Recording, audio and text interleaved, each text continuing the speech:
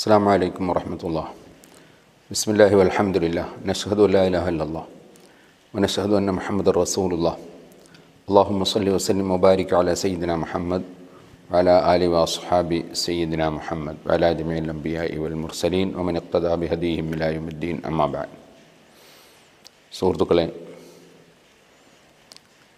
അള്ളാഹു അവൻ്റെ പരിശുദ്ധ ഖുർആാനിൽ സെഹ്റു റമദാൻ അല്ലതി ഉൻസുല ഫീഹിൽ ഖുർആൻ ഖുർആൻ ഇറക്കപ്പെട്ട മാസമാണ് റമദാൻ മാസം എന്ന് പറഞ്ഞതിനെ സംബന്ധിച്ചാണ് നാം സംസാരിച്ചു വന്നത്. മഹാനായ ജിബിരിൽ അലഹി സ്വലാത്തു വസ്സലാം എല്ലാ വർഷവും പരിശുദ്ധ റമദാന്റെ രാത്രിയിൽ നബി സല്ലാഹു വരസങ്ങളെ സമീപിക്കുകയും അങ്ങോട്ടും ഇങ്ങോട്ടും ഖുർആൻ ഓതി കേൾപ്പിക്കുകയും ചെയ്യാറുണ്ടെന്നും റമദാനിൽ നബി സല്ലാഹു നിങ്ങൾ ഏറ്റവും കൂടുതലായി എപ്പോഴും വലിയ ഔദാര്യമുള്ള നബി തങ്ങൾ വളരെ കൂടുതലായി ഉദാരനാകാറുണ്ടെന്നും ആ ഔദാര്യം സർവസമൂഹത്തിനും ലഭിക്കാറുണ്ടെന്നുമാണ് നാം പറഞ്ഞിരുന്നത്.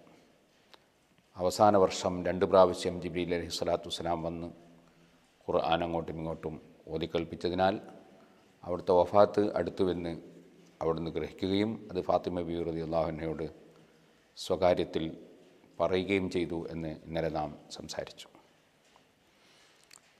പരിശുദ്ധ ഖുർആാനിൽ ഷഹ്റു റമദാൻ അല്ലതി ഉൻസലഫീൽ ഖുർആൻ എന്ന ആയത്തിന് മുമ്പ് നാം കാണുന്ന ആയത്ത് യാ അയ്യുഹല്ലദീന ആമനു കുത്തിബ അലൈക്കും സിയാമു കമാ കുത്തിബ അലല്ലദീന മെൻ കബലിക്കും ലഅല്ലക്കും തെത്തക്കൂൻ എന്നതാണ്. സൂറത്തുൽ ബക്രയിലെ നൂറ്റി എൺപത്തി മൂന്നാമത്തെ ആയത്താണ് ഷഹ്റു റമദാൻ അല്ലദീ ഉൻസുലഫിഹിൽ ഖുർആൻ എന്ന ആയത്ത് നൂറ്റി എൺപത്തി അഞ്ചാമത്തെ ആയത്താണ്.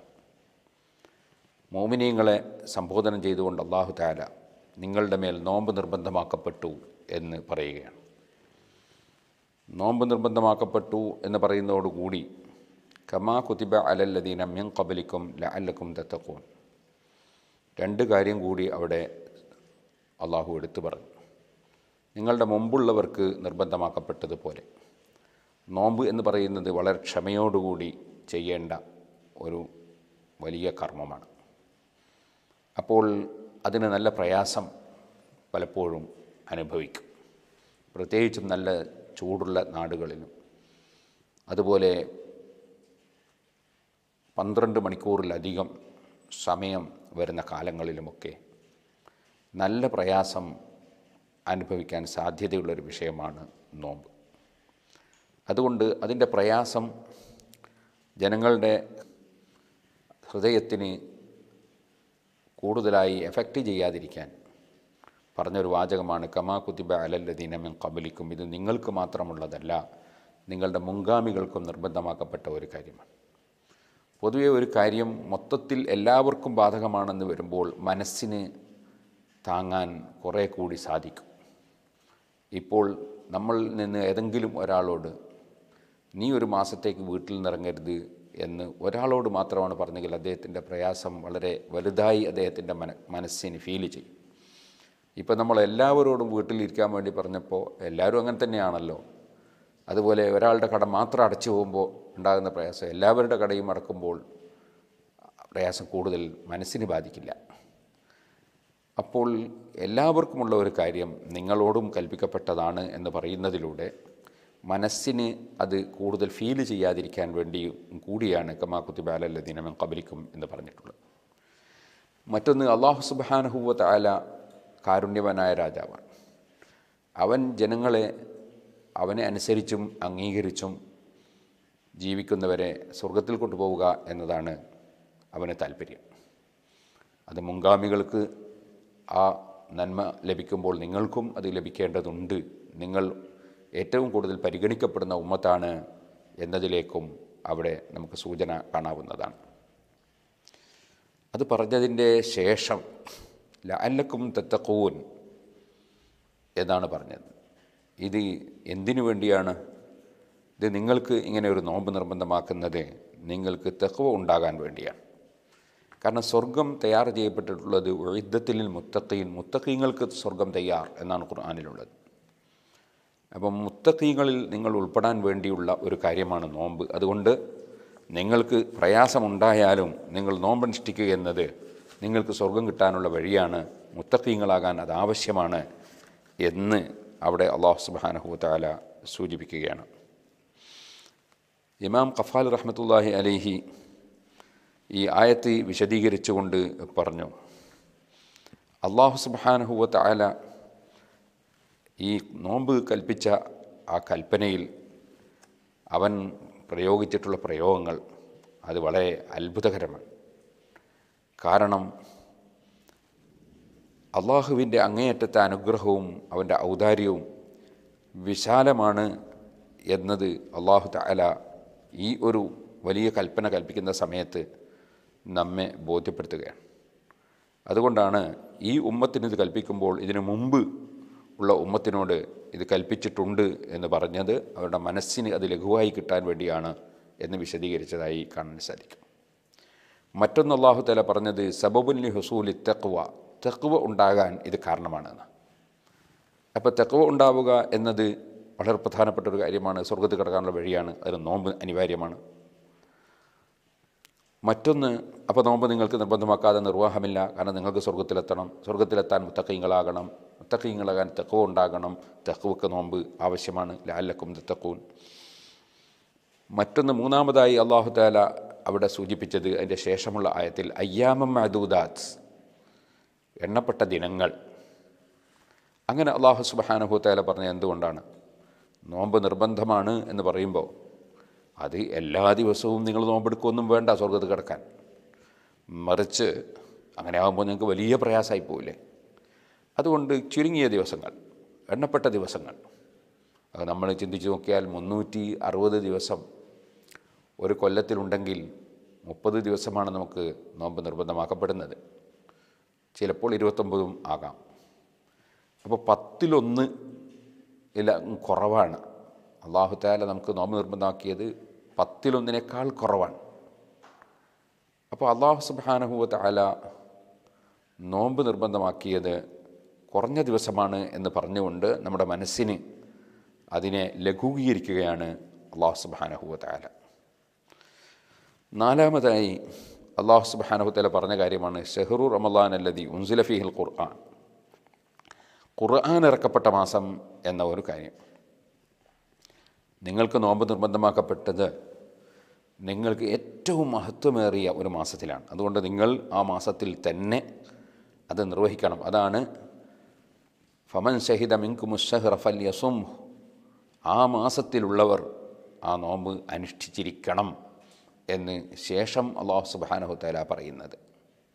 അപ്പോൾ റമദാ മാസത്തിൽ ഇറക്കി എന്നത് നിങ്ങൾക്ക് വലിയ അനുഗ്രഹമാണ്. കാരണം എല്ലാ അമലുകൾക്കും വളരെ കൂടുതൽ പ്രതിഫലം ലഭിക്കുന്ന മഹത്തായ റമദാനിലാണ് നിങ്ങൾക്ക് ഈ അല്പം പ്രയാസമുള്ള നോമ്പ് നിങ്ങൾക്ക് നിർബന്ധമാക്കപ്പെട്ടത് എന്ന് അള്ളാഹു സുബാനഹു താല അവിടെ സൂചിപ്പിക്കുകയാണ്. അഞ്ചാമതായി അള്ളാഹു താല പറയുന്ന ഒരു കാര്യം ഫമങ്കാന മിങ്കും മരീലൻ ഔ അല സഫരിൻ ഫഇദ്ദത്തുൻ മിൻ അയ്യാമിൻ ഒഹർ നിങ്ങളിൽ ആരെങ്കിലും രോഗികളായാൽ അല്ലെങ്കിൽ യാത്രയിലായാൽ ഫഇദ്ദത്തും മിൻ അയ്യാമിൻ ഒഹർ അതിന് പകരം മറ്റൊരു ദിവസത്തിൽ അതേ എണ്ണം നോമ്പ് അനുഷ്ഠിച്ചാൽ മതി എന്ന് അള്ളാഹു താല പറയും. ഇത് പറയുന്നതിലൂടെ നിങ്ങൾ യാത്രയിലാകുമ്പോഴും രോഗത്തിലാകുമ്പോഴും താങ്ങാൻ കഴിയാത്ത പ്രയാസം നിങ്ങൾക്ക് അള്ളാഹു താല നിർബന്ധമാക്കുന്നില്ല.